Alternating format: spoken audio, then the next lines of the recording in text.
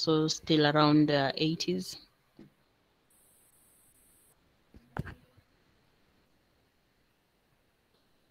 Okay, so I'll I'll start. The recording has started. So for our evening tutorial, which is the one we are at, we will be going through data engineering, just an introduction to data engineering, and focusing on Twitter data, which is uh, the main source for our data this week. So I'll share a tutorial. I hope you guys have have the access to the folder now. The presentation I'm about to share is in the folder.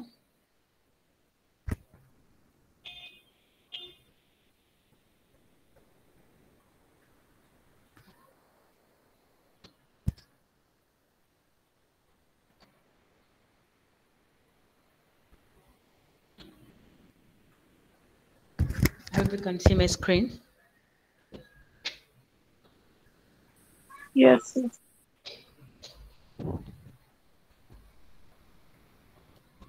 Okay, sure. So uh, data engineering is basically the process of moving data from one source to another. It uh, it is the first step in uh, maybe like a data science project. Most of the data acquired in data science is in unstructured mode, and so data engineering will just involve moving it from an unstructured base to a structured um, environment. Unstructured can maybe like Twitter data, and then maybe storing the data in a structured uh, database. Okay. It's uh, data engineering delivers correct data to the right people in the right form as effectively as possible. Like I've said, data engineering is the first step, maybe before doing a machine learning, preparing the data, making sure it's in the right format. Uh, we have uh, removed maybe some uh, duplicates, all those. There are so many reprocessing that happens before the machine learning. So data engineering is basically just preparing the data, making it ready for uh, more more step like um, machine learning. So the one of the big uh, things involved in data engineering is building a data pipeline, and uh, a data pipeline is a set of actions that ingests raw data from disparate sources and moves the data for storage and analysis. So I hope that is it's clear. We've said that we data engineering is getting data from unstructured way, like Twitter, which is raw, and then to a database that is structured. So the process of uh, now creating these functions and the process that will get this raw data and move it to a structured database is what, what is called now creating that uh, data pipeline.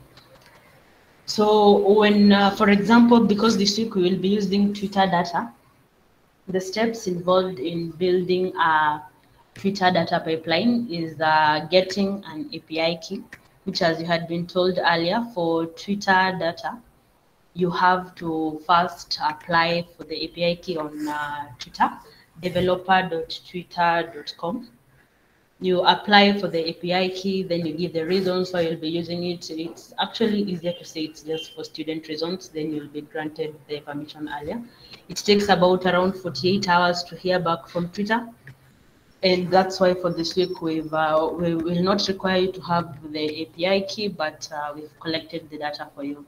Maybe from the, the next week, you'll need the API key. So it's important you apply for the API key on Twitter. Next, we use a Tweepy library. A Tweepy library is a way of communicating between your data and uh, Twitter. So it is just like any library we have on Python, Pandas, Matplotlib. So Tweepy is also a library that helps that uh, collection of raw data from Twitter to your storage become easy. Then we pre-process the data. Simply after getting any data, you can conduct exploratory data analysis to understand what is this data about.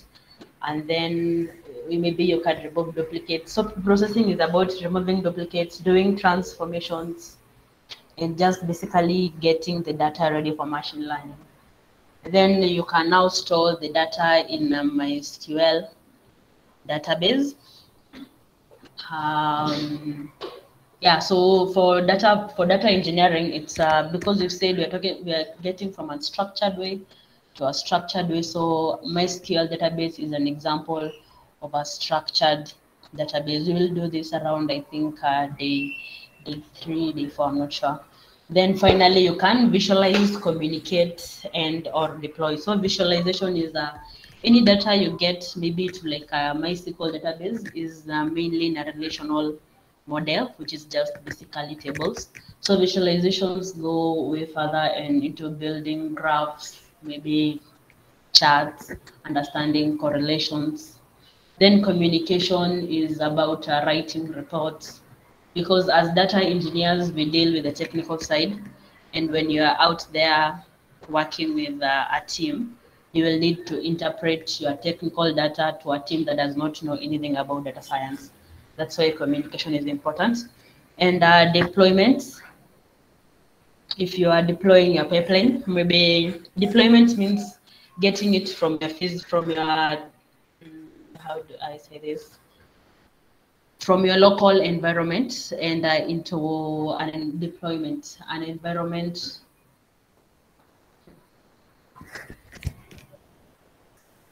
that is usable by more than just you. If you're doing your data in a local environment, deployment is in a way that maybe the entire team that you're working with can actually access it easily, while uh, updating, maybe collect, maybe automatically collecting data from Twitter, then doing going through the pipeline and then into our database, then it can be seen by the other teams. So that is what is basically involved in building a Twitter data pipeline. Today we'll just go through maybe until the Tweepy library and have a little bit of pre-processing.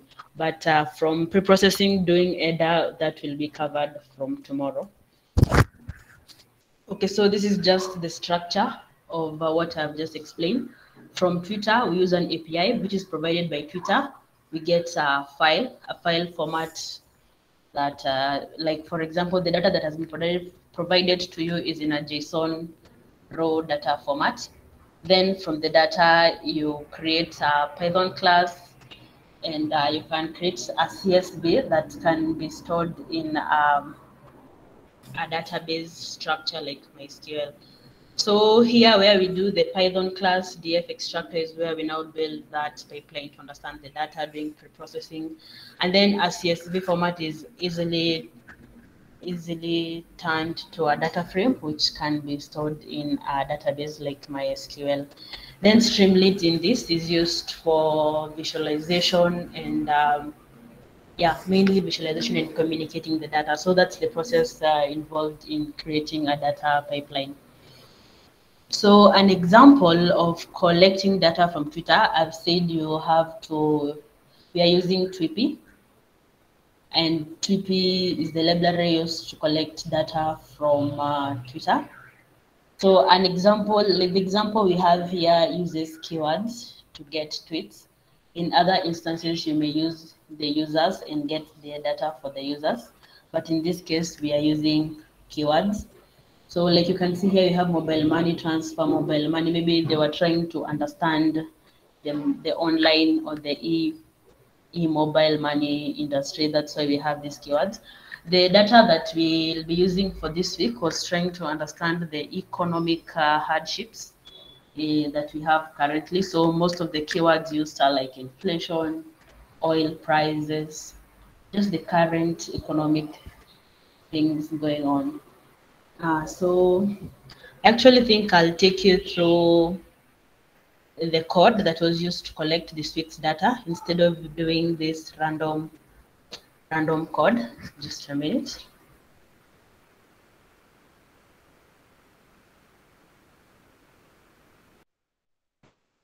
Mm.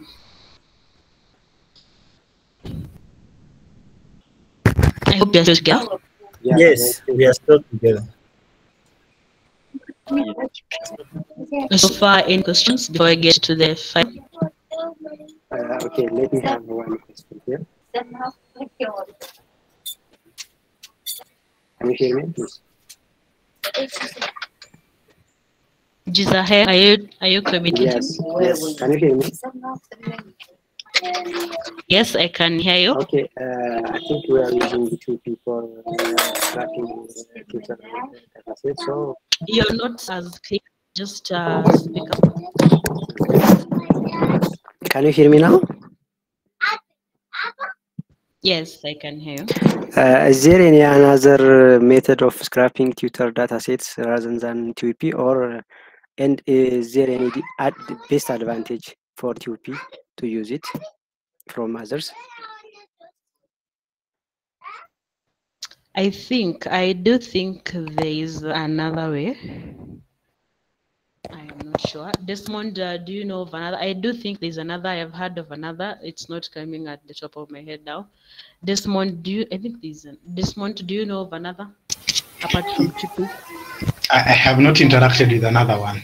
I think most of the time we use Tweepy for extraction. Yeah, I know uh, there is uh, something called SunScrap. Uh, and I don't know whether they are, uh, it doesn't uh, require any authentication and blah blah for uh, SunScrap like uh, would the Twitter? Okay, I've not heard of that one. I don't know if Twitter would.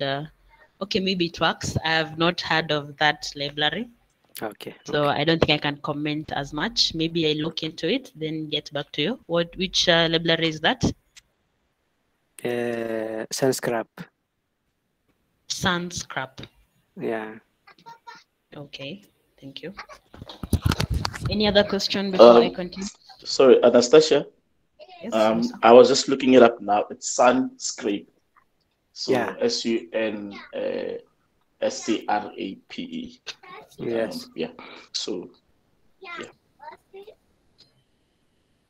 Okay, so we'll look into that, but mainly I think most of the mining I've been doing from Twitter has just been through Tweepy.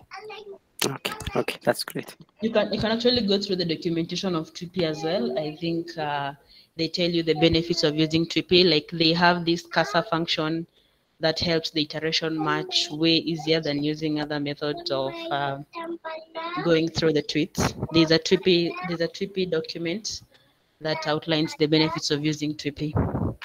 Okay. Okay. Thank you so much. Okay. Okay.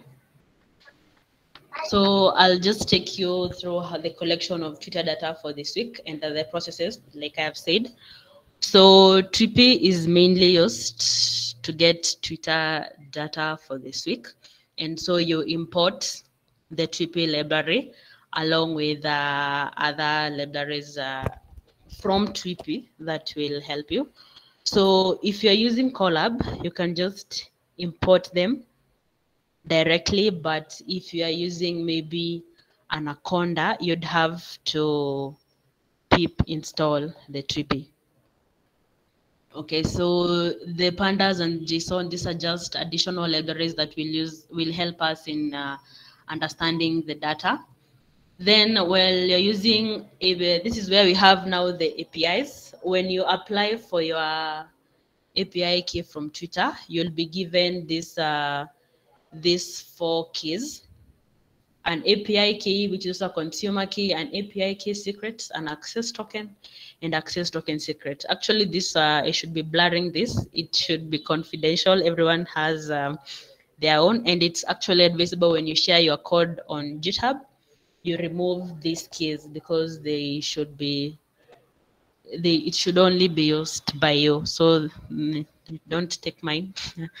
okay, and then now this is where we just create the API where for accessing the data. So just use Tweepy, the library, and create the API by giving it the author, which is now your consumer key and your secret key. Yeah, and then you create the API. So since I was using Colab, I had to create a connection to my drive and to a specific folder to store the data. And uh, like just like the example I had shown you, the hashtags you have, uh, you put them as a list. The hashtags you'll need to connect um, to collect data for. So because our aim this week was economic hardships, that's why we used words like inflation, fuel prices, unemployment rate, uh, rate, oil prices, and so on and so forth. So you've been you've actually been given two sets of um, data sets, and the first data set was more general. The second one was uh, country specific. So this this next function, which is the one that now goes through the tweets based on your keywords. Uh, like I was saying, now this where Tweepy gives an, uh, an, an example of Cursor, where in only one line, you can actually go through all the tweets that you want. For example, in this specific statement, you can go through 500 tweets per hashtag. So you can actually change this item to maybe you are accessing a thousand tweets, a million tweets per hashtag. Because here we are doing for hashtag, so it is this is done per hashtag. The geocode in here is the variable that uh, makes the difference between the two the two data sets. This is only included when you want something country specific. For example, the number used there was for Kenya, which is just, I think, the latitude, uh, the longitude, and maybe a radius so that you can get a huge part of that country. So the main aim of maybe going through keywords like this, we were getting the number of users who are engaging with these keywords so that we want to mine the users who are mainly talking about these keywords. So from this small code, just get all the users who are mainly interacting with these keywords that we are interested in. Then uh, just like we had said, when you get when you get the users, you can save that file in a CSV or a JSON. So this was not main, mainly the raw data, so I just saved it in a CSV. And then now for each user who is engaging with our hashtag, I needed their information. And uh, Twitter, Twitter stores a lot of metadata per tweet. When was the tweet created at? Who's the one texting them? Their ID, then what is the tweet itself? What, where is the, is it in reply? Is it a retweet? How many likes did that tweet get? Users release, the Twitter stores are a lot of information. So since we wanted this information for the users engaging with our keywords, this is another function that the same, this is the only line that gets data from, from Twitter. And again, we were going through 500 tweets per person to get this data. And uh, you can also specify here, we were interested in recent data. So this specified data that uh, is only engaging from this year. Uh, then we have this small, small uh, pipeline inside here that for every tweet that you get for each user, you actually dump that file into a JSON file. So that's all that is involved in getting Twitter data. Very simple. This took me around uh, 30 minutes at most. It depends the number of users you have and the amount of tweets per user. So it might take two minutes, two seconds, it might even take two hours. It just depends on the data that you have. So that is basically collecting data from Twitter and the resulting data the resulting data is a JSON file like the one we have here that is just a row. It's a zip, folder. Let me just show you from the presentation.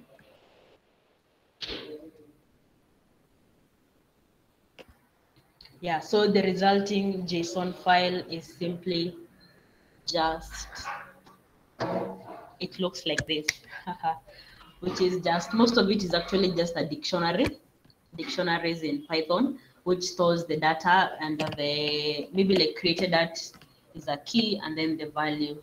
If you, if you understand the dictionaries, this is just a huge list of dictionaries, which is now the raw data from Twitter. Then uh, after getting your data, you can transform it into an easy understandable format like CSV, then maybe to a data frame. Like for example, this is a data frame. You can just change a JSON to a data frame using pandas for easy understanding. How does it look? Do we have any, uh, do we have any duplicate data So this is just uh, how it can look after the raw data is now being understood. This is now the pre-processing part. After pre-processing, which I've said might include removing duplicates, uh, creating uh, transformations, the next thing now would be using visualizations.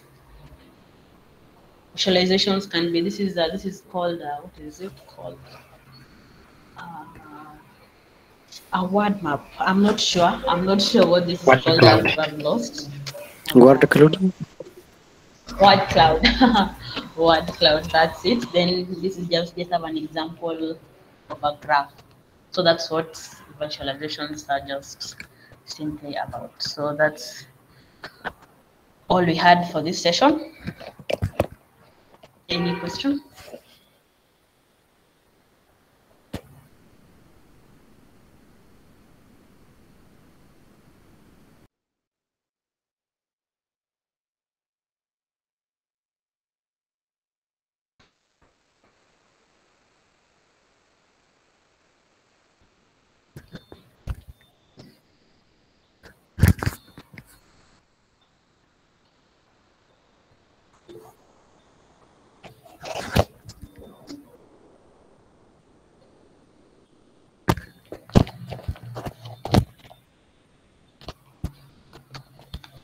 So Abel, you're asking if we need to use API account to download our own file. Yes. If you want to actually directly interact with Twitter, you will need to get your own API keys. And the only way to get an API key is applying it from Twitter and giving them a valid reason. They can actually deny your reasons. So just guys be just I think just give a really what why do you want this key? How are you going to use it? Be specific on why you want this key so that you can be given access. Because even the, when i applied for mine i think they rejected it at first. But so yeah. Okay. Do we have the code you presented no the code i've just presented has not been shared with you I was tasked with collecting data, and that's why I came up with that code. That one has not been shared with you. It is not part of this week. Any other question?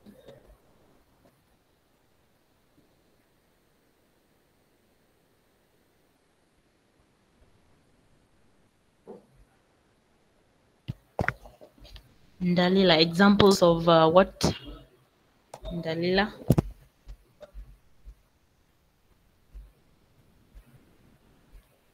Okay, we'll wait to hear from Dalila. I see Nijus, your hand is raised. You can ask your question.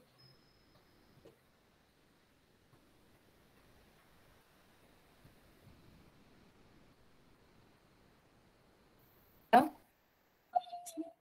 you hear me? Yes, I can hear you, Nijus.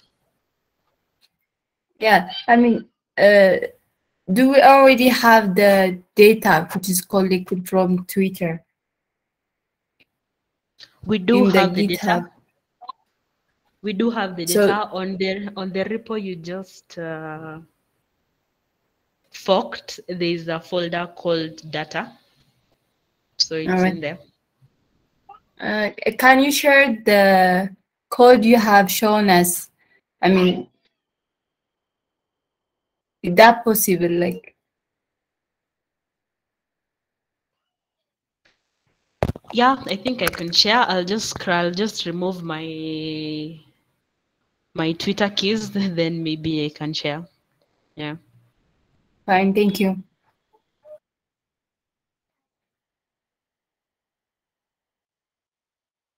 So Abel, you're asking which data to use. Um, the data that is around 100 MBs, that is the one that uh, will be mainly used for this week.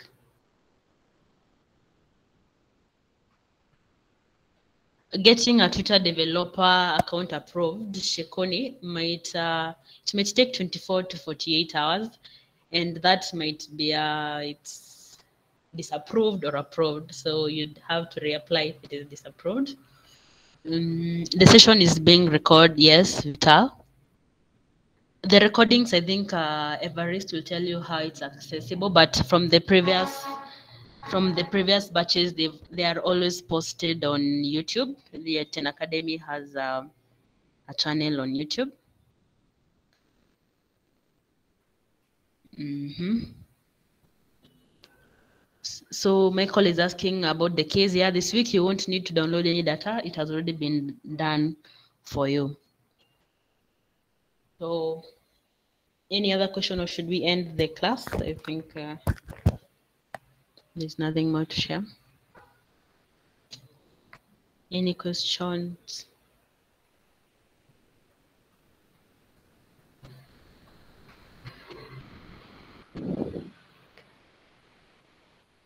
Oh, okay. So Shekoni, I see you're asking about uh, data on the Monday folder.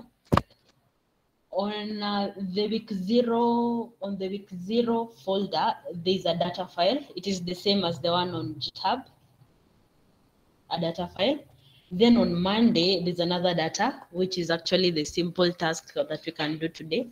If you are in the morning class, we were setting our Python environment and uh, you can, there's a, on Monday, there's a simple task. There's a notebook for a simple task that uh, you should attempt just to make sure that your environment is running. Everything has been done for you. That was another Twitter data that has already been corrected, collected, sorry. You just need to run the notebook, just uh, do some pre-processing. Then uh, the data folder in Monday is in relation to that task. That is not uh, weekly data. And uh, do we need to remove any punctuations? And how do we deal with slang in the data? So you're asking for slang in Twitter, in, in a tweet? About the commas, I am is this a comma in a tweet? Is it a comma in a, in the JSON? Because I know the JSON file comes in a dictionary format, which is easier to send to CSV. So Jalil, I don't think I get your question right.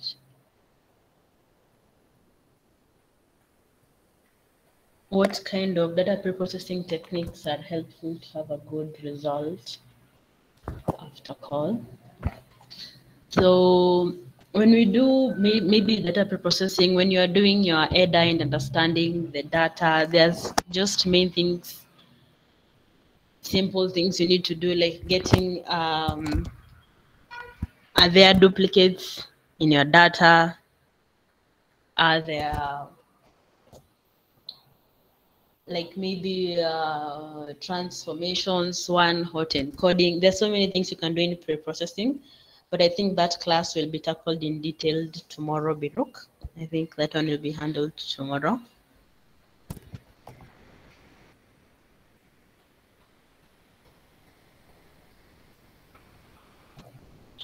Okay.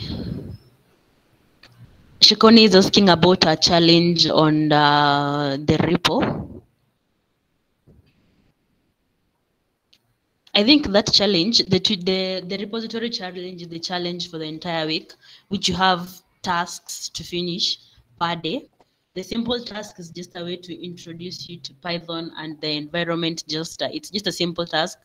You won't even be required to submit it, but just uh, to familiarize yourself with the environment if you're new to the environment. The repository is the challenge for the entire week with tasks specific uh, for the days. What is the main data we want to extract? So the main data we were extracting, Abel, is the tweets per user. We need to know what they're talking about. So we were extracting the tweets and the metadata related to the tweets. When was it created? Where is the location of this user? Uh, was it a reply? Did someone reply to it? How many replies did it get? That's the kind of data we were getting. No, Shekoni, the one on GitHub needs to be submitted. The one not to be submitted is the one on the Monday folder. It is called a simple task. It's just to get you acquainted to the environment. The GitHub needs to be submitted. how to connect. Uh, okay. Aaron, I don't think I get your question right. How to connect the Twitter app with the Twitter data. Maybe just speak up and uh, elaborate. Aaron? Aaron Sinkia.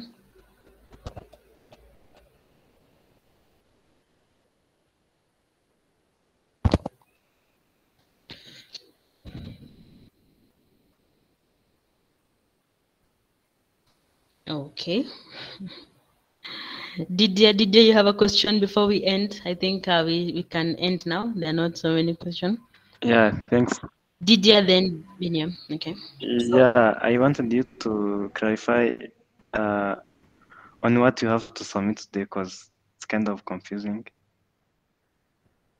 Like what you have to submit, to submit today, because in the other document that was shared, there are tasks, uh, like five tasks, but then uh, at the end of the document, there is also deliverables what you have to submit each day. And she just mentioned the, the GitHub link. So are we doing anything else? Maybe you can clarify. Okay, just a minute.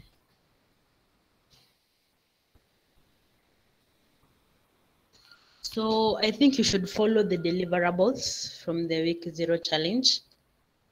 Let the deliverables guide you on what should be delivered each day. Follow the deliverables for submissions.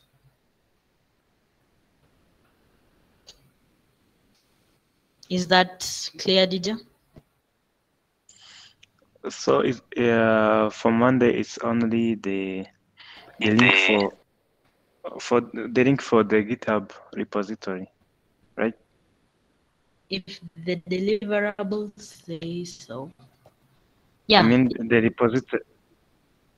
will only be given a submission link to upload the GitHub link. So you should uh, you should you should note if there are few tasks to be done, if you should have done something on that GitHub. Sorry, can you go to the tasks? Uh, maybe. Sorry. Can you go to the tasks on that the, the document that you, you were sharing? Mhm. On tasks. Tasks. Yeah, above this. Uh, uh,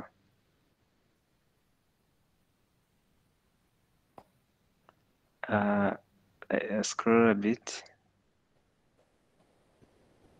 Mhm. Uh, do you have to to do all of this for like this is the the first task? Do you have to do all of this and then submit them? Sub submit the if- link after you have done this. If you do all of this, you will have be you'll be done with task one. But I think let me just go through the first deliverable to make it a little bit clear. So for Monday, a GitHub link to your repo that you will use for the rest of the week. Just make sure that it is public and you use this report throughout the week. So I think uh, what this deliverable, what it just from reading it is just after forking, and you have your GitHub, you have the repo on your account. Just that link will be enough. But that does not mean that the whole of today you only do that, because if you only do that, by Wednesday, you'll be overwhelmed with the amount of tasks that's there. So after just submitting the link, you can just go ahead and do task one, do everything in task one. If you still have time today, start task two. Don't just focus on Monday, task one, task two on Tuesday. Some of the tasks can be very overwhelming and it will be easier to tackle them earlier. So I think only the link will be needed for this for today. You can confirm that with Everest, who's on the training ops, but uh, the task should not guide you on what to deliver. The deliverable should guide you on what to deliver. Yeah, thanks.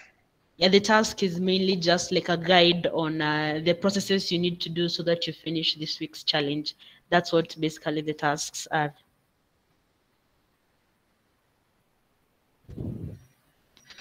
Okay, I hope that's clear, Didier? Hello? Yes, Faith?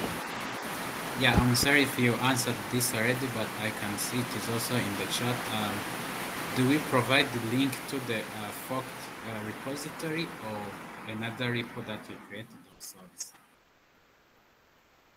You actually you need to fork the repository from 10 Academy, from 10. You need to to fork it. I don't know what other link you'd be submitting, because uh, this is the repository that will be tracked through during the entire week. So I don't know which other repository you want to submit.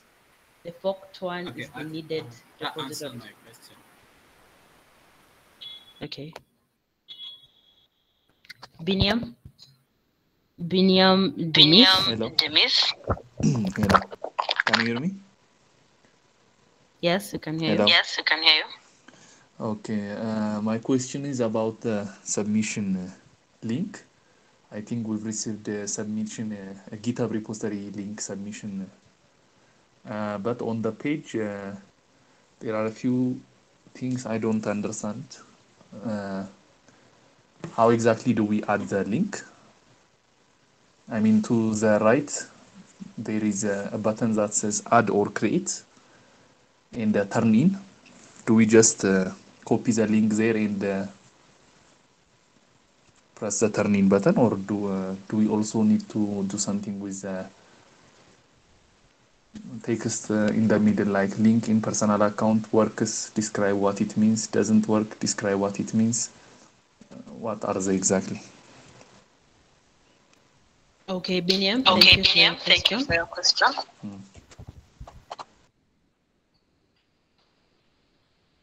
Uh, so the best person to answer that question is Abdullahi. He's dealing with the Google Classroom platform.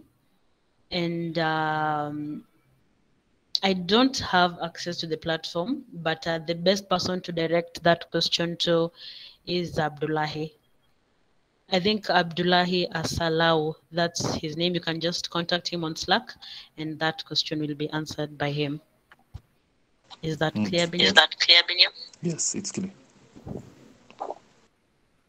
Okay, uh, Jalil, Jalil, what's your question?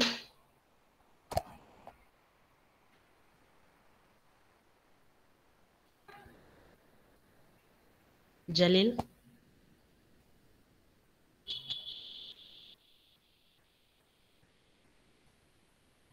Abdul Jalil, Jalil. Oh, okay. Then Margaret, Margaret, what's your question? Margaret Shapkirer.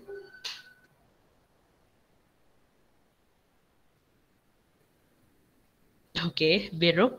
Biruk, what's your question? Uh, Hello, uh, my question is, uh, under, what do we supposed to do on, on uh, simple task, uh, uh, Jupyter Notebook 5, which is uh, on the week zero Monday folder? So are we supposed to submit uh, this task also? Thank you. Uh, I didn't get that uh, right. Which task are you asking about? On the files which are shared on the Google Drive, uh, which uh, include for Monday to Tuesday, and on the Monday folder, there is uh, a simple task, notebook file, uh, which has something we so we, we're supposed to uh, answer. We have two questions, I guess I see there. So wh- when do we actually uh, do this task?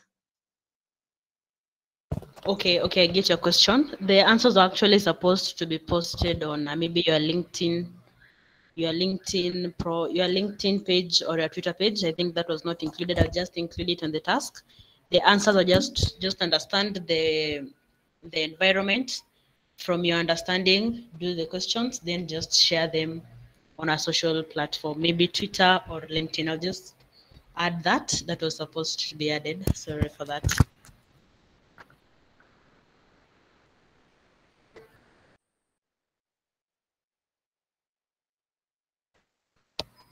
Any other question? Or should i should assume that you're done? Yeah, excuse me. Uh, I just got one. Could you clarify what you just Okay. said about the uh, LinkedIn or other profiles? I didn't quite get it. It's the simple task on uh, on the Monday folder. The answer to the questions were not to be submitted back, but uh, posted either on your LinkedIn or um, Twitter. I'll just add that simple instruction. I think that was missed. I'll add that simple instruction at, on that task. Okay, thank you.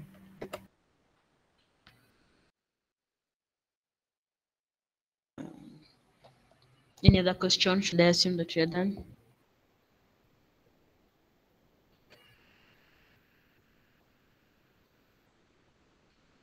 Okay.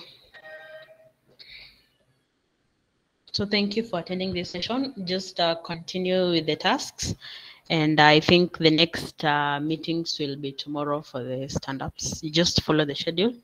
But I think that's what is going on at the moment. Oh, Salam, Salam, you have a question before we close? Uh, yes, uh, you said we have to uh, install Tweepy if we are going to use Anaconda. Uh, how are we going to do that?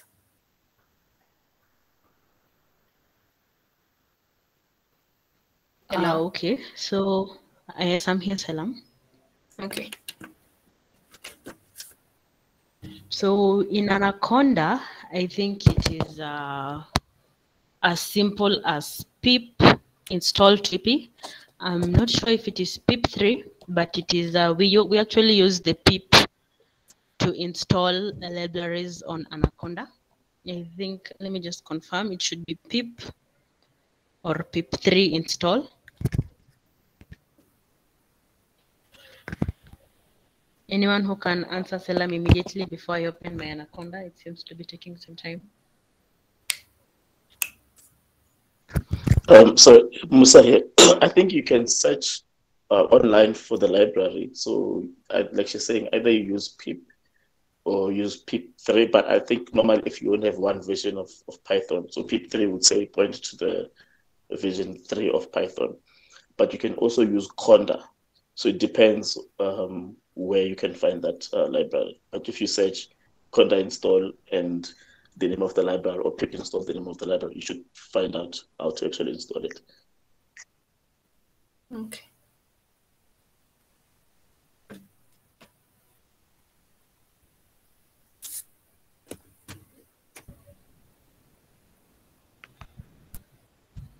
Okay, any other question? Are we done? Need just another question? Need just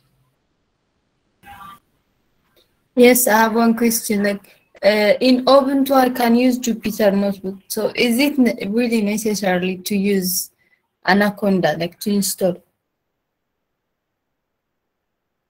Or do, Not do we need to like Jupyter Lab or something else? I I think the installation of the libraries uh, depends on the environment that you're using. If you have Anaconda installed, then you can use Anaconda. If you're using uh, PyCharm, you can just go to the command prompt and there's, it's not necessary to use Anaconda, just depending on the environment you're using. I think uh, you just find how the command to use for installing that library, then you can just, you don't have to use Anaconda, that's the best. Sure, thank you.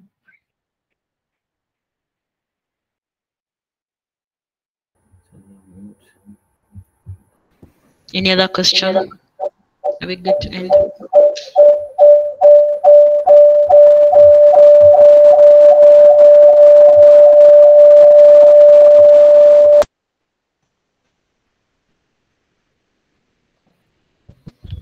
Okay, so I think we can uh, end there. Any other question should be forwarded on Slack. And kindly use uh, all week zero for any questions regarding to the challenge. that I, I have a question. Slack. Okay. Uh, this question, like, uh, I'm a little bit confused. You see, for today, we have got uh, two, like, two tasks. We have that Twitter challenge, and also we have another in this Monday folder. There is that uh, simple task that has been, has been given. So we are supposed to do it and submit it, uh, or rather, or uh, we are to uh, update it in our social media accounts. The simple task is updated in the social media account. I will just add that. Uh, I will add that instruction. The simple task is for social media. Any Mhm. other, just follow the deliverables. Is it going to be assessed? Because you you will add some hashtags, maybe hashtag 10 Academy. It's just more of the community part of this program because you really need to interact with the community. Okay, thank you. Okay, so I think that's all. We can uh, end there. I don't know if the one who recorded it's still here. Is it Abdullahi? You can just end the recording.